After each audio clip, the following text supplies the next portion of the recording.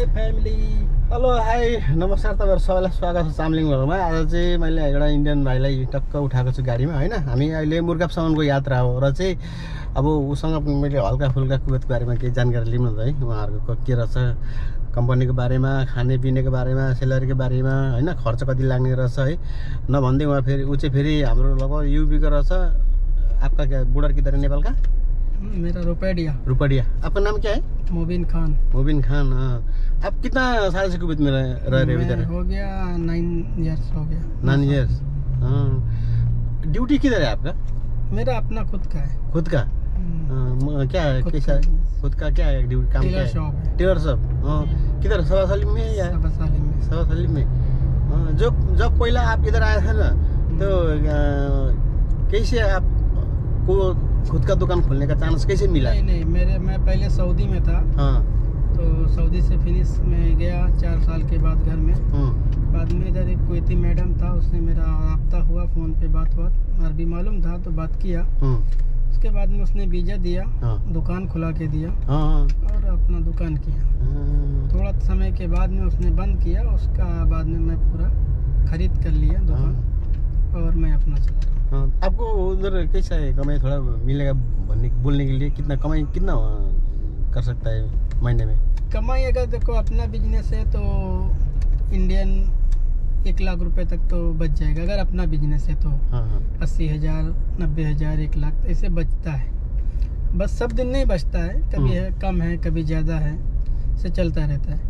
और अगर तुम किसी नौकरी कर रहा है हम्म, तो नौकरी में बस ये तनख्वाह पे आएगा तो तुमको Indian thirty thousand thirty five thousand ऐसे मिलेगा। हम्म, और अगर अपना खुद का काम कर रहा है यानी मसलन मान लो पीस पे हम्म, कितना काम कर सकता है दिन में हम्म, उतना करेगा तो तुम्हारा इंडिया का साठ हज़ार बन जाएगा। साठ हज़ार पचास साठ हज़ार बन जाएगा। तो बहुत अच्छा है ना।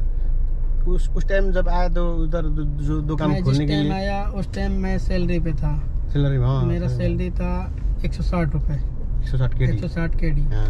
यानी उस टाइम तो कम बनता था। हाँ। अभी तो 160 का मुमकिन चालीस हज़ार के ऊपर बनेगा इंडिया में। हाँ। बस जिस टाइम मैं आया था उस टाइम पच्चीस पच्चीस हज़ार बाईस हज़ार इसे बन रहा था। हाँ।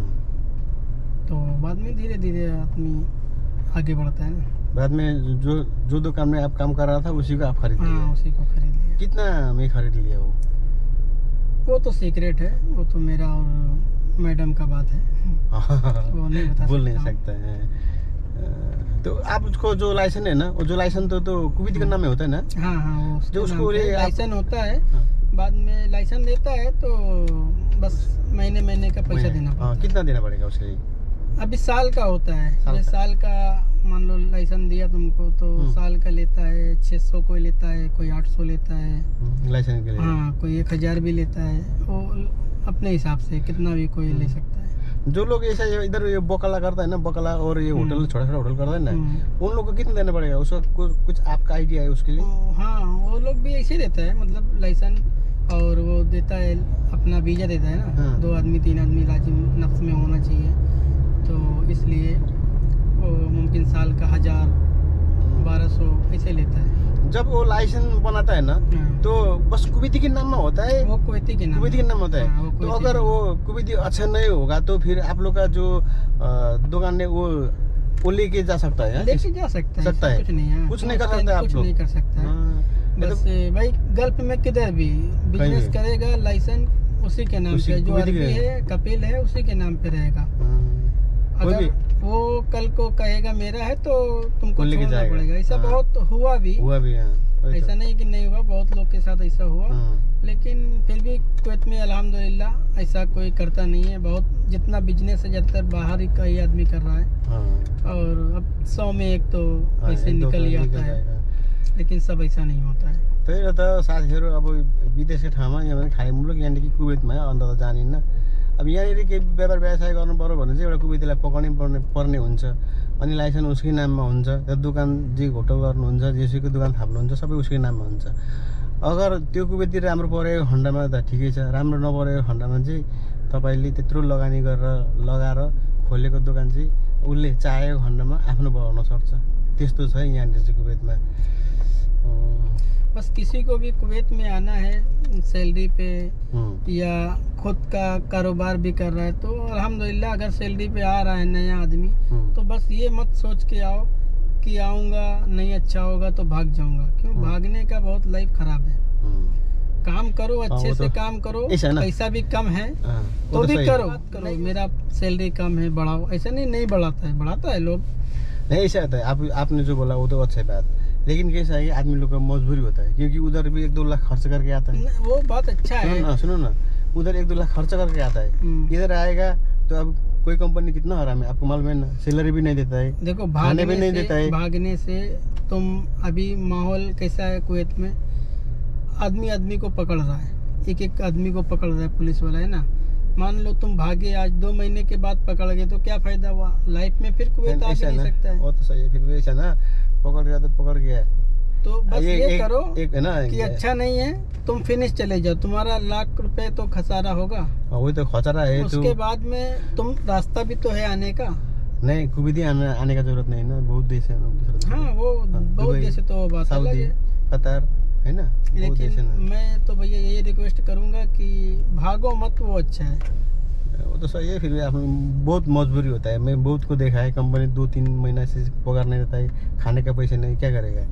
इसलिए अभी मुल्क जाऊँ तो दो तीन लाख उधर ऋण काट के लेके आया है। उधर भी जाना सक, जा नहीं सकता है। इसलिए इधर ही भाग के कोई दूसरा अच्छा कंपनी मिल गया तो और- कमाएगा भी। मैं आपको बता दूँ मेरे तजुर्बे के हिसाब से हम्म, कुवैत के अंदर जितना कुवैती है हम्म, बहुत कम ही तुमको ऐसे मिलेंगे जो अच्छे ना हो बाकी सब अच्छे हैं। अच्छा। सौ में निन्यानबे परसेंट लोग अच्छे हैं। बस ये- है कि कुछ आदमी जो भागते हैं ना हाँ। वो लालच में भागते हैं कि मैं यार अस्सी दिनार पे यहाँ आया हूँ और भाग जाऊँगा तो बाहर 200 कमाऊँगा। हाँ। ऐसे तुम ढूंढोगे तो तुमको हज़ार में से 600 आदमी ऐसे मिलेंगे जो अपने लालच में भागे मजबूरी है वो बात अलग है। हर आदमी खराब नहीं होता है। लेकिन ऐसा है आप अच्छा लोग होता है ऐसे बोला। लेकिन मैं भी दस साल हो गया इधर। मैं अपने कुवैती के पास काम किया चार पाँच साल काम किया। अल्हम्दुलिल्लाह वैसा कोई नहीं है। मेरे कुवैत के अंदर कुवैत के अंदर मैं पूरा कुवैत के अंदर ढूंढूँगा ऐसा आदमी ऐसा मैडम नहीं मिलेगा। हम्म, अच्छा ही मिलेगा। ठीक है? उससे अच्छा मुझे कोई दिखा ही नहीं। इतना अच्छा सब अच्छा अच्छा कुछ। बस यही है कि तुम उसके साथ अच्छा करो वो तुम्हारे साथ अच्छा करेगा। तुम थोड़ा टेढ़ा चलोगे वो हम्म। ज़्यादा टेढ़ा चले क्यों? उनका देश है। हम्म, कुछ भी कर सकते हम तुम यहाँ उनके पास नौकरी करने आए अब हम मालिक बनेंगे तो वो फिर अच्छा बात नहीं है ना। तो ज़्यादातर लोग जो भागते हैं ना वो हाँ। इसी बेस पे भागते हैं कि हम यार वहाँ से तो आ जाएँगे। अगर तुम किसी को वीज़ा दो अब बोलो भाई तुम्हारा अस्सी दिनार सैलरी है नब्बे दिनार है सौ है। वो बोलेगा ठीक है कोई मुश्किल नहीं हो तो नेपाल का मेरा बन गया पचास हज़ार। ऐसे सोच के आ जाएगा? यहाँ आएगा बाद में वो तुमको पूछेगा कितना कमा रहे हो टैक्सी में? तुम बोलोगे कि मैं तो कमाता हूँ महीने का दो लाख। हैं। वो सोचे यार ये तो दो लाख कमा रहा है मैं तो सौ दिनार मिल रहा है। फिर उसका माइंड खराब होगा। हाँ, तो वो नहीं भी प्रॉब्लम होगा तो भी प्रॉब्लम बताएगा हाँ, कि मेरे को ये प्रॉब्लम है। और फिर भागेगा। और भागेगा तो फिर मुश्किल है। जेल जाओ घर जाओ फिर कुवैत में आना बंद। सब साल में किधर है आपका सब? सब साल में मैं गता दो में। तो मैं एक ही जगह है क्या? हम्म? एक ही जगह है?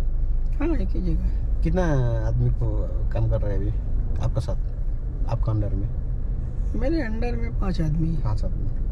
पाँच आदमी को सैलरी देखो दे के भी फिर भी आपको मुद्री बन बन के बैठा है। अल्हम्दुलिल्लाह अल्लाह ने महीने का जो लाख रुपए कमा रहा है। अच्छा अभी क्या थोड़ा सा आपको थोड़ा दूसरा जगह भी ऐसा खोलने का सोच नहीं है? नहीं खोलने का सोच है। इंशाल्लाह नेक्स्ट साल हाँ। कुवैत सिटी में देख रखा है। करूँगा दो जगह। तो आप जो अभी इंडिया से कुवैत आने के लिए आपको तो कुवैती मैडम ऐसा भेज दिया हम्म। लेकिन इंडिया से कुवैत आने के लिए कितना खर्चा लगता है अभी अभी इस टाइम तो लाख रुपए तकरीबन मान के चलो एक लाख हाँ। रुपए लग जाते हैं में। कुवैत आएगा तो एक लाख रुपए माँगता है मेन पावर से आएगा तो। हाँ। हाँ, मैं जब आया था तो उस टाइम पे थर्टी फाइव थाउज़ेंड लगा था। बीजे तो मैडम दिया था हाँ। बाकी मेडिकल मेडिकल ये सब पूरा थर्टी फाइव